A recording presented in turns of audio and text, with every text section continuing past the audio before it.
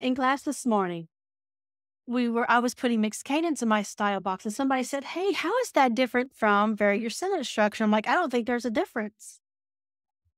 There is a difference, y'all, and these are the little things we mean when we say experiment. Especially talk with ChatGPT. There is nobody that understands the AI, which Sudowrite is an AI program. There's nobody that understands the AI like another AI program. So go into chat and ask for clarification on things. So we asked it, um, what do mixed cadence and varied sentence structure mean?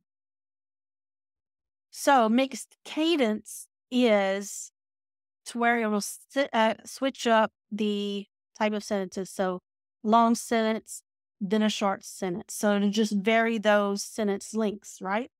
hmm And we thought they were the same, but no, very sentence structure means that actual sentence, the structure of just like it says, you would think that would have clicked.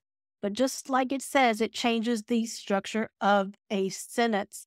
So not necessarily the length and alternating the lengths like mixed cadence does, but instead, like this is the best description right here for it. So, you know, you Into the room she walked. Mm-hmm.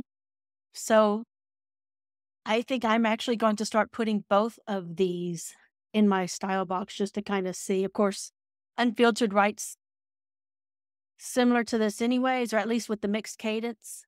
But I'm going to play around. So I just thought y'all might be interested in also doing these two or one or the other and understanding the difference in them.